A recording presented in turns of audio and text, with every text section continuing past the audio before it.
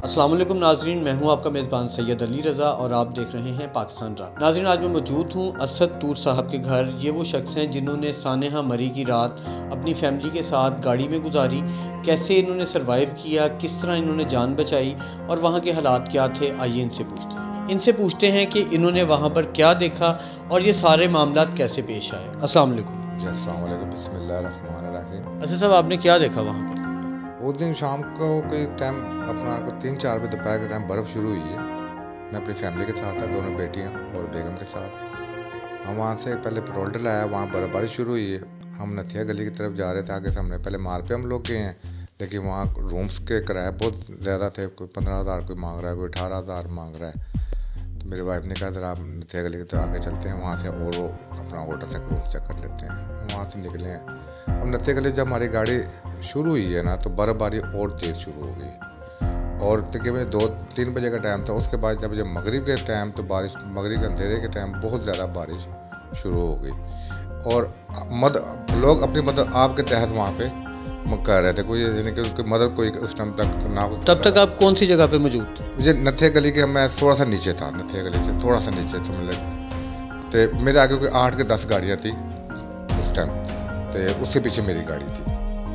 रात हो गई बर्फबारी और तेज़ हो गई ऊपर से कोड़ा पा रहा था कोड़ों की वजह से लोगों की ज़्यादा गाड़ियाँ ना कोड़े की वजह से ना जो ऊपर से गिर रहा था उस, उस उसमें ज़्यादा अपना अंदर ना हुई है बर्फ़ तो पड़ रही थी कंटिन्यू अच्छा वहाँ पे अपना थोड़ी देर समझ रात के ग्यारह बज गए हैं। बच्चे मेरे परेशान बेटी मेरी बड़ी रोने लग पड़ी कि बाबा अब क्या होगा? मतलब अब मगरिब से लेके रात ग्यारह बजे तक अभी वहाँ पे स्टिल एक जगह पे गाड़ी स्टार्ट है हीटर चल रहा है अंदर बैठे हैं। एक बंदा अल्लाह वाला मिला रेहान नाम का वहाँ पे मुझे पिशावर का अगली साइड का था। उसने काफ़ी बंदे बाहर निकलवाए और गाड़ियाँ बाहर निकलवानी शुरू हो गई। इवन के वहाँ का जो मरी का कुछ एक शख्स था अमजद नाम का, उसने वो बेलचा लेके आया, वो अब गाड़ियों के आगे से बर्फ़ निकालने शुरू कर दी। रात बड़ी औखी गुजरी, सुबह हो गई।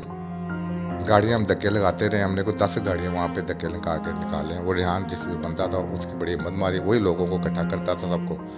उसकी ख्वाहिश थी कि मेरे पीछे जो दो गाड़ी पीछे रियान की थी, उसके पीछे दो गाड़ियाँ तीन गाड़ी, उसमें बच्चे थे, उसने बच्चों की गाड़ियाँ सूरत आगे लेके आ रही थी कि ऊपर से उनको गाड़ी के साथ दरख्त था, कोड़ा कोड़ा बहुत ज़्यादा गिरा तो गाड़ी अंदर की तरफ़, बर्फ़ की तरफ़ जा रही थी। उस वजह बंदे की वजह से हमारी गाड़ियाँ भी निकली। और मेरे हिसाब से अपना, जब छः बजे मुझे अपना नथिया गली के मस्जिद के बाहर डिप्टी कमिश्नर साहब मिले उन्होंने भी कहा कि अब फोर्स आ रही है। फ़िलहाल कुछ हो नहीं सकता लेकिन हो जाएगा। गाड़ियों में जो अमवात हुई हैं आपके ख्याल से वो कैसे हुई हैं? और आपको कब पता चलना शुरू हुआ कि ये मौतें गाड़ी में हो चुकी हैं? जब सुबह छः बजे मेरी वीडियो वायरल हुई है सुबह छः मैंने छः से सात बजे के वीडियो वायरल की है।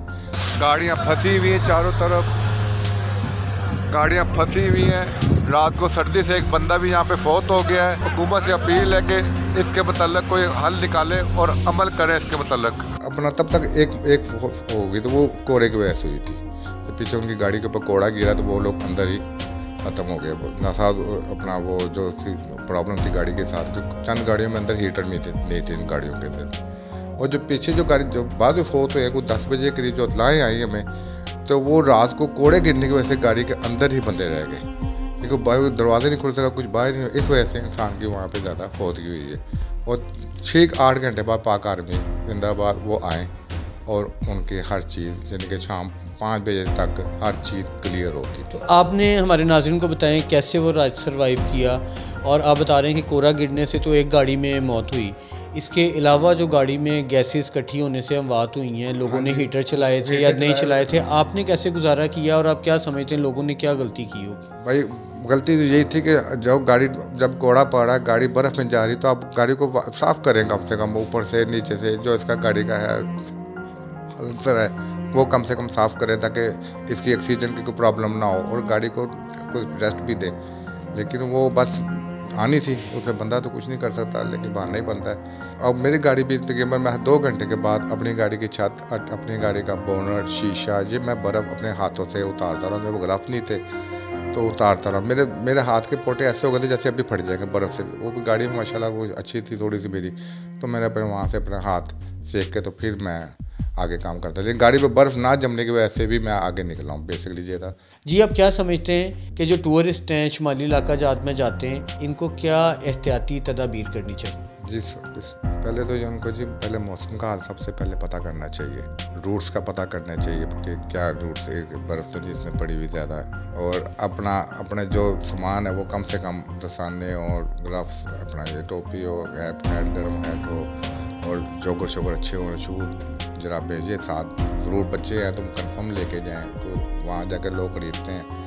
और वहाँ के लोग या को पता है इतनी महँगे सामान बेचते हैं कि इतना सामान तो पूरे पाकिस्तान में महँगा नहीं बिकता जितना वहाँ पे सामान महँगा बिकता है। सुनने में बड़ा आया है कि वहाँ पे अंडा पाँच सौ रुपये का दिया गया चाय पाँच सौ रुपये की बेची गई। इसमें कितनी बात की सजा? नहीं ये सब झूठ है ये इसमें कोई ऐसी आपको वहाँ पे कितने का अंडा मिला और चाय? चालीस रुपये का अंडा मिला और चालीस रुपये की ही चाय मिली है पे। ये सर्दी की रात जिस दिन ये ब्लॉकेज थी और हाँ सारा ये सुबह तो आपको पता है कि ये टोटल जो प्रॉब्लम हुई ये दोपहर दो बजे से लेके और सुबह छः बजे ये बर्फबारी रुकी है। उसके बाद दस घंटे के अंदर अंदर आर्मी ने आकर हर चीज़ क्लियर कर दी वहाँ पे। आप हर साल जाते हैं? आपने पिछले गुजशत सालों में कभी इतनी ज़्यादा मुसलसल बर्फ़ गिरती हुई देखी है? नहीं नहीं इतनी ज़्यादा नहीं देखी। अक्सर देखी थोड़ी बहुत ही देखी लेकिन दो घंटे होगी रुक गई बर्फबारी फिर छः घंटे होगी फिर रुक। गई ये कंटिन्यू बर्फबारी कोई अठारह घंटे पड़ी है।